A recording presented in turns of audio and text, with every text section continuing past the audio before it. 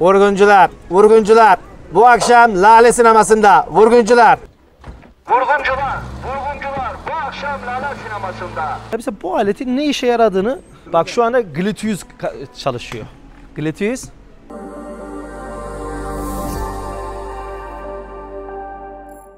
Mafya doktoru Kenan, Ahmet Sistem, Esnaf Şair.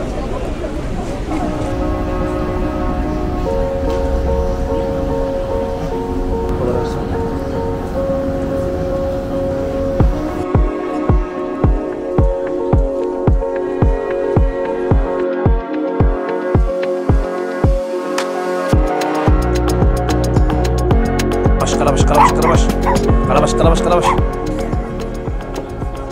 Yes. Adam sallama ile kolay açtı ya. AVM'ye geldik. Bakalım pandemi dönemi AVM nasıl? AVM'de hemen hemen her marka var.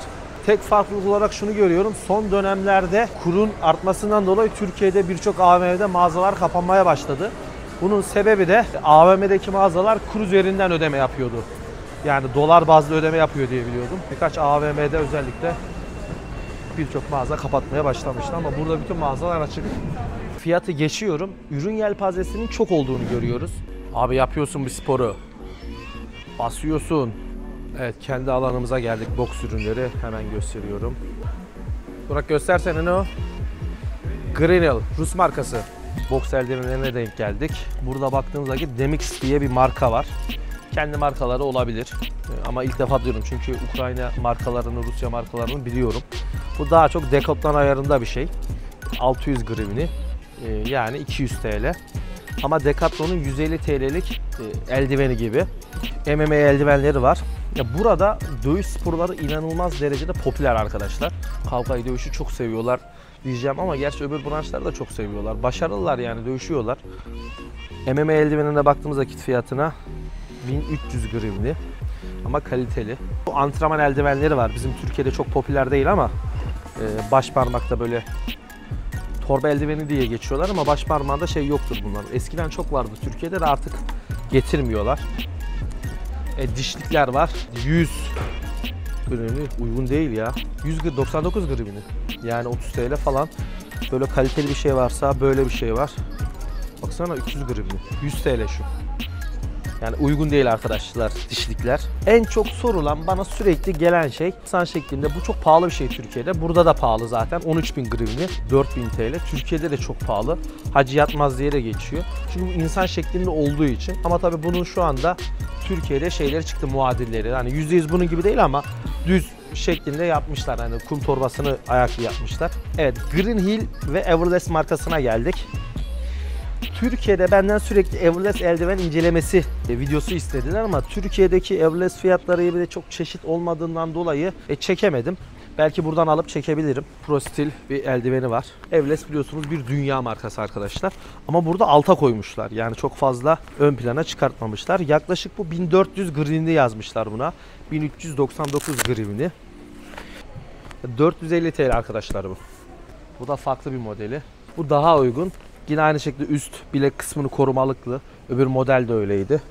Üst bilek kısmı korumalıklı. Ama öbürü daha pahalı. Yanak korumalı kask ama denim marka yani e, daha ki uygun fiyatlı. 700 grivni. Evet Greenhill markası. Bu Greenhill markası arkadaşlar Dünya Boks Federasyonu'nun e, sponsoru şu anda.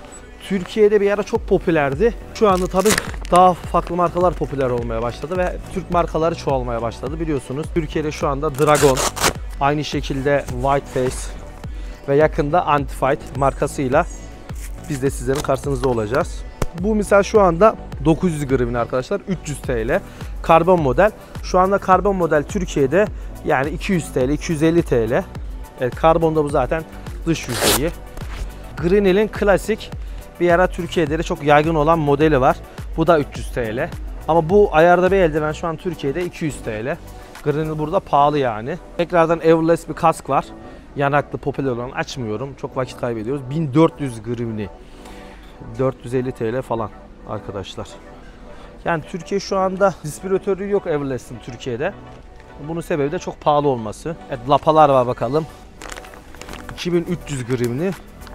Ama bu derisi falan kaliteli. Ya bunlar falan artık lapalar falan Türkiye'de üretebildiğimiz için kendi markalarımız arkadaşlar. Hani yerli markalar. Bunlar falan çok fazla göremezsiniz. Burada yine denim marka 500 TL bir böyle basit bir lapa var. Arkadaşlar bu ip hakikaten ip yani atlama ipi dediğim budur. Bunu hiçbir zaman unutma. Yani şu rulman ve şu özellikle şu var ya şu anda bizim eskiden salonlarımızda bunlar vardı. Yani ben öğrenciliğimde ben bu ipin yani bir koptuğunu ettiğini hiçbir zaman görmedim. Herkes değişik değişik ipler getirdi.